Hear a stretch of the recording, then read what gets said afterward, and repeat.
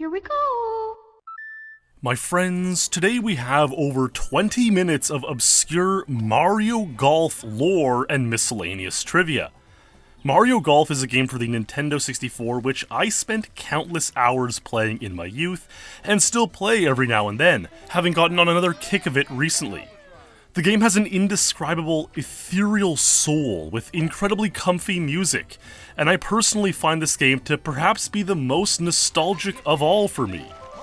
Unsurprisingly, for most good N64 games of its time, the game has a ton of depth, hidden secrets, Easter eggs, and modern lore, which the gamers who have continued to play it have contributed to over the years. So get comfortable, pour yourself a warm beverage, and enjoy this deep look into the 90s nostalgia of the mystical Mario Golf 64.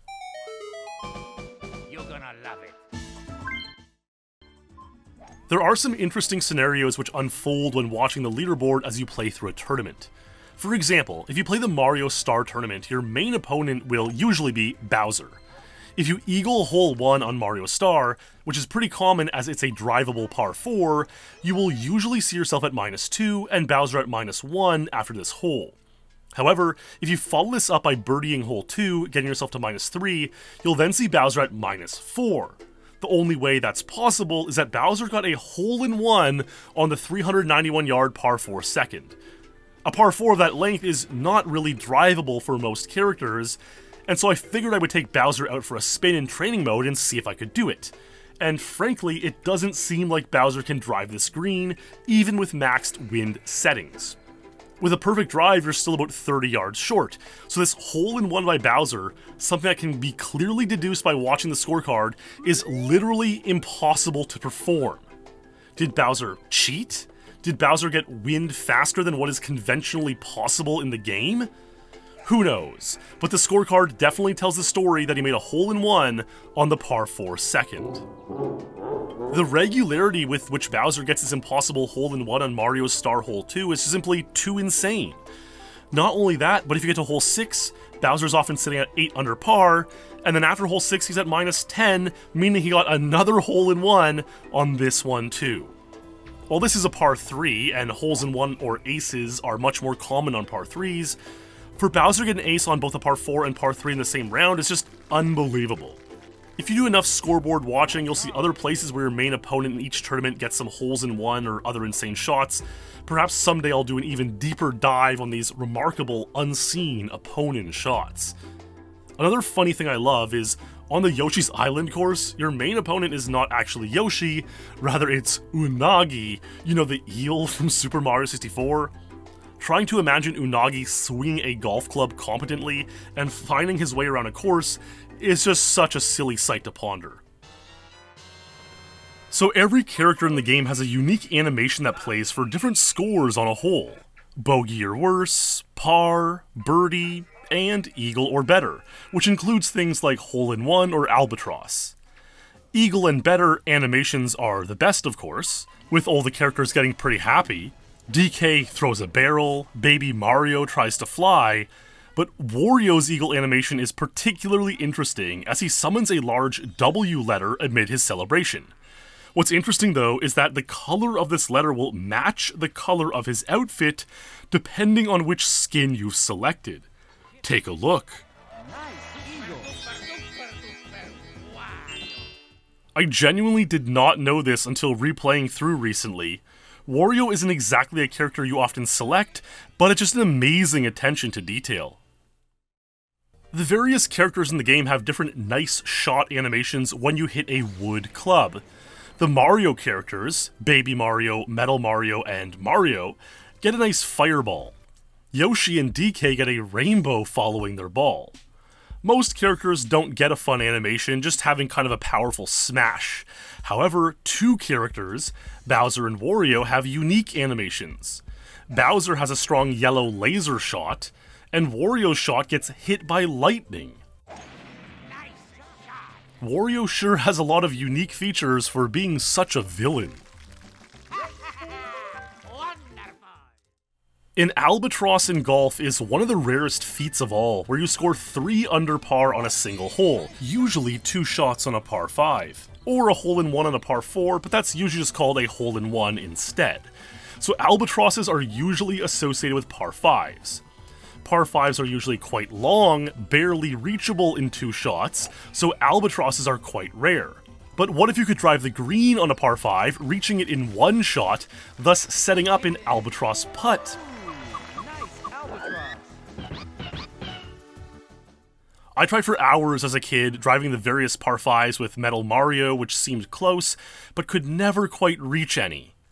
However, Nintendo 64 gaming legend Shadow of Myles has this clip on his YouTube channel showing doing exactly that. In training mode, on hole 7 of Mario Star, with the wind maxed out at exactly this angle, with the point of impact under the ball and slightly off to the left, Myles barely lands the ball in the green, setting up an albatross putt, which is just not something that conventionally happens in golf. It's amazing that the game even has a screen programmed in for albatross putt, though it does look more raw and less refined than the other screens. The Albatross Putt screen is a truly remarkable and obscure piece of Mario Golf lore, which very few people have probably ever seen on their own cartridges and TVs throughout history. After a few hours of attempts, I was able to pull this off myself too. I tried a handful of times in a few sessions without getting it to work, despite doing an identical setup to Myles. So I have to think there's at least some element of RNG or slight variance on each character load or hole load or something like that. And when we're talking about landing the ball at 390 yards, barely on the front edge of the green, these minute differences do matter significantly. So if you try it out yourself, it might take a few resets or loads to make it happen, but it is definitely doable, and it's truly amazing to see. And no, before you ask, it does not seem possible to get a hole-in-one on this par 5. The area where the ball lands is just too sloped to get it towards the hole, but hey, that's a bit greedy anyways. And for what it's worth, a hole in one on a par 5 or 4 under on a single golf hole is sometimes called a condor, but the accounts of this happening in real life are just so few and far between. So ring shot mode is an added challenge of hitting the ball through all the rings on a hole and still making at least par or better. These have become the source of much community challenge, as well as just doing it for a personal challenge. I remember myself trying to get holes in ones or albatrosses on some ring shots and having a fun time with it. That being said, gamers are always up for a ridiculous challenge, and so I once came up with such a challenge, which I thought was possibly the most difficult ring shot conceivable. On hole 5 of Shy Guy Desert, which is called Shoot for the Stones, there's this one ring off in the distance. Now, with Metal Mario, you can actually drive through the ring with the right wind, and then get up and down in three shots from the waist area for par, so this in itself is not too challenging of a completion. However, the idea I conceived was, would it be possible to lay up in the fairway and then with your second shot, clear the ring, ricochet off the rock wall, and get the ball into the hole for an eagle 2 on this par 4? It seemed like it might actually be possible since with a few tries, you can probably end up at least getting the ball onto the green with your second shot. Well, Mario golfer I Am But Pixels, who held numerous world records throughout his Mario Golf career, decided to give this challenge a go. He had many close calls over numerous sessions, but then finally, after 24 hours of grinding the shot over and over again, he hit this shot.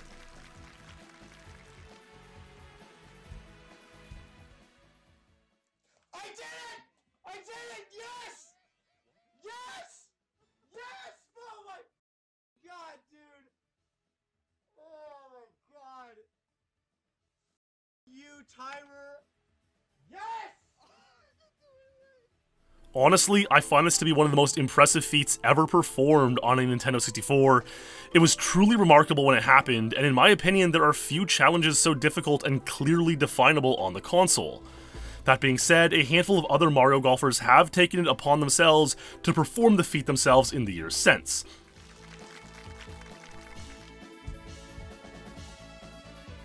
And I just did the rock shot. Neat. And I Am But Pixels hit it for a second time based on a random dare from chat. But I will always remember the first ever successful rock shot eagle. This is really good. Oh my god. You guys took me 47 minutes, thanks a lot, I'm out. You're not getting your money back. See you later. There are 36 total ring shots in the game, and thus various challenges have been sought out beyond just scoring par on each hole. Princess Peach's ring is a notoriously fascinating hole, a par 3 designed as Peach herself, with the ring all the way over here. So ideally you have to lay up in the rough or sand trap way over on the left side of the course, and then get up and down the tiny green from about 100 yards for par. Doing one better and holing out for your second shot for birdie is a pretty obvious challenge that many Mario golfers have tried over the years. And there's this clip of Shadow of Myles doing just that. He has many great shots, and I would love to do a deep dive on his Mario of Golf videos sometime in the future. I've hit the shot myself, but it seems my recording of this has become lost media after a cartridge data reset.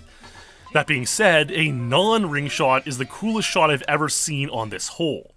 Mario Golfer A Standard, while speedrunning the game, got this incredible shot on the same hole, hole 16 of Mario Star. That's probably a little short. Or in off the rock. Please somebody clip that. That's all I ask. Please somebody clip that. That's right, his ball was short of the green, but bounced off the rock, hit the flag, and landed in for a hole in one. Now that, my friends, is just truly, truly remarkable. A Standard actually just uploaded a nearly one hour compilation video of the greatest shots he's hit over five years playing this game, so if you love seeing amazing Mario golf shots, definitely check that one out. The link will be in the description. In Mario Golf 64, there does exist a mini golf mode with two courses Luigi's Garden and Peach's Castle. There are 18 holes each, and believe it or not, every hole is hole in oneable. Shadow of Myles has videos of him doing exactly that, uploaded in four distinct parts, since these were uploaded before you could post something longer than 15 minutes on YouTube. But seeing some of these clever and tricky holes in one is just truly stunning, and I can't help but wonder just how many people have aced every hole in Mario Golf's mini golf mode.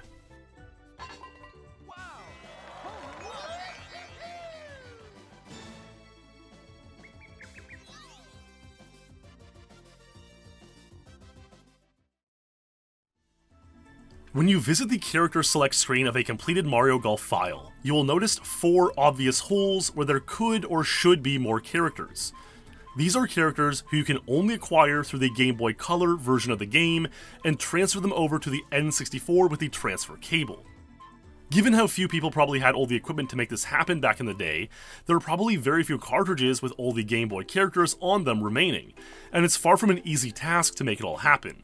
The Game Boy Color version plays more like an RPG with leveling up, and so at a maximum level 99, once imported to the N64, some of the characters can hit like 400 yards, which is way further than any conventional N64 character, and breaks the game. You can pretty much eagle or even hole in one every par 4 in the game, and may even be able to get the elusive hole in one on a par 5.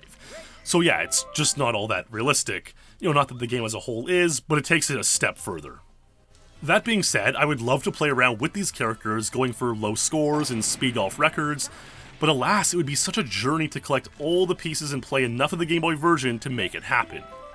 There is this video from Mario Golf player Metal Yoshi Gamer showing him play all the courses with a strong kid character, so that's pretty cool. And you can see just how much these extra long drives break the game, easily shooting like 28 under par without breaking a sweat, a score usually reserved for the absolute best world record speedrun performances. Something like 36 under or even better is almost certainly doable with the maxed Game Boy Color characters. One final thing about the character select screen that I have yet to mention is that there's no Metal Mario on the Japanese version. Metal Mario is the best character, and he hits furthest among non-Game Boy Color characters, and has the most shapeable shot pattern, which helps immensely at high levels of play. So it's a huge loss not having him on the Japanese version. Alas. Watching the credits for Mario Golf 64 reveals some fascinating lore and trivia. A name that comes up under character voices is Penn Badgley, who fellow gamers might not be too familiar with, but in all likelihood, any woman or friend in your life will almost assuredly know is a handsome actor starring in the Netflix series You, and having been on 2010's iconic CW program Gossip Girl. He's spoken about this in the odd interview, He actually voiced a kid named Kid, one of the Game Boy Color characters. Here's a clip of Kid celebrating with Penn's voice. Nice eagle. Yahoo! Yes! Another odd tidbit is that they misspelled Charles Martinet, the iconic Mario voice actor.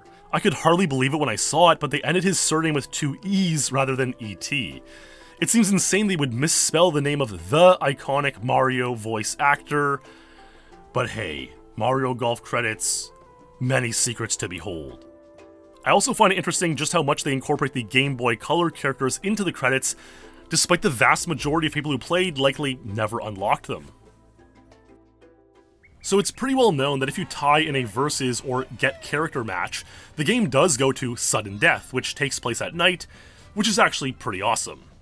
This is the source of my most viewed Mario Golf clip on this very channel, uploaded in 2010, where I got an Albatross at night in a versus match against Metal Mario on the fourth playoff hole at Toad Highlands. Another cool feature is that whenever you finish a hole at night, you'll get a blast of fireworks in the shape of whomever the host for each course is. You know, Toad or Koopa or Shy Guy. What's funny though is that if you end up tied for first at the end of a tournament, there's no playoff. You just win. This is particularly silly because, you know, in real golf tournaments, tournaments are usually when you do get sudden death playoffs to determine a champion. So why they didn't add a playoff feature at the end of a tournament when you end up tied is beyond me. I guess they figured they would have to program in the character model for Unagi or Shy Guy or Koopa, and that was just too much to get to. Oh, and here's another interesting tie thing. So as I mentioned, if you are playing Get Character or Versus Match Play and are tied after 18 holes, the game goes into sudden death where you play at nighttime. And this fits with the game because as you play throughout the 18 holes, the sun starts to set towards the end of the course. So that's all fair and good. But what happens if you remain tied for 18 more holes of sudden death? Well, intuitively, you might think it should become daytime again. You know, you've played all through the night. But my friends, it does not. It just remains night forever until sudden death is settled. I suppose the programmers just never accounted for this rare and frankly near impossible situation where you continue to tie for 18 straight sudden death holes. You can really only do it if you're trying to intentionally tie, and it's made a lot easier with the save states put into the Nintendo Switch Online version. Personally, I love the nighttime vibes of the courses, it just gives them a different flavor from what I've played through so often in my life. And the cool fireworks that go off are just the icing on the cake.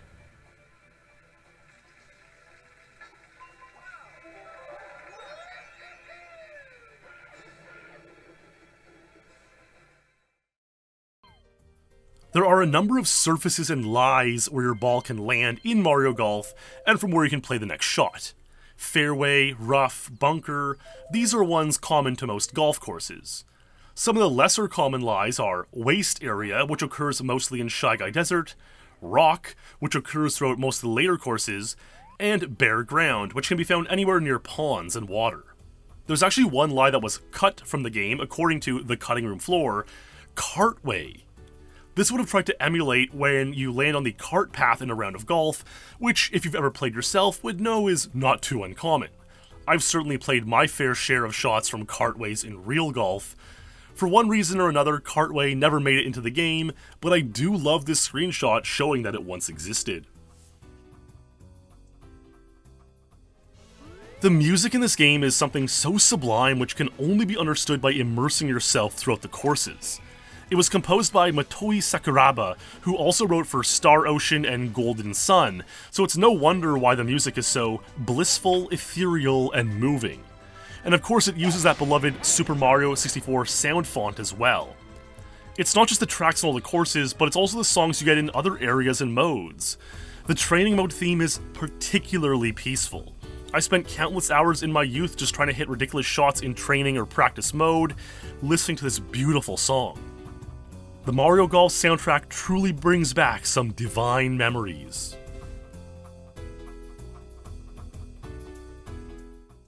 The Four Yoshi's Secret Song is a crazy Easter egg in Mario Golf that I had no idea about until recently, despite this being one of my most played childhood games. Those who played Mario Golf love the music, as I mentioned in the previous segment. There are six courses in the game, all usually with two songs each, one competitive spirited song for the tournament mode, and a usually comfier, more blissful song for the other modes. But there is one exception.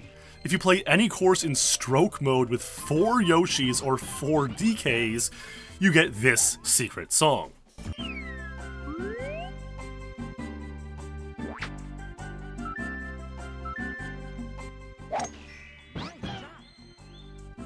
This genuinely blew my mind the first time I heard it, and it must just be one of the most little known hidden songs on all of the Nintendo 64.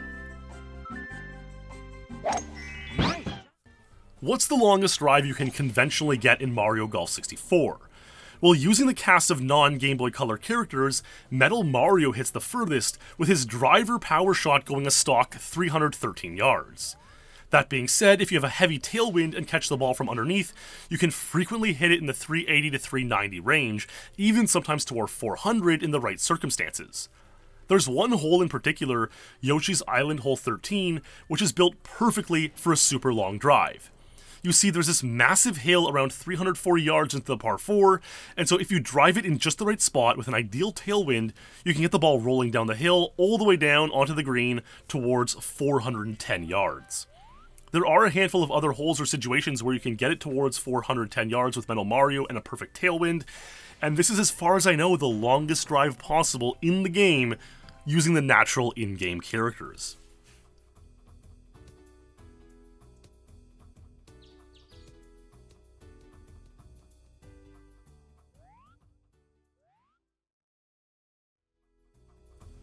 Monilou is a Spanish language influencer who posts content which many have dubbed retro grunge, incorporating topics like 90s bands, VHS era effects, and of course, Nintendo 64 video games. One of her posts went viral when a Twitter user captioned it with this You slept for a long time, babe. You kept rambling about virtual currencies and World 3. Are you alright? The game she is playing, or at least the intro screen cycling on her 90s cathode ray tube television, is Mario Golf. The post generated considerable nostalgia, with many internet users wishing they could go back and re enjoy the 90s in their full glory at what felt like a much simpler time. But perhaps it truly was a simpler time as well. Perhaps their nostalgia is not misguided one bit. Perhaps if we just go to sleep while listening to the Mario Golf practice range training theme, it'll all be okay. Alas.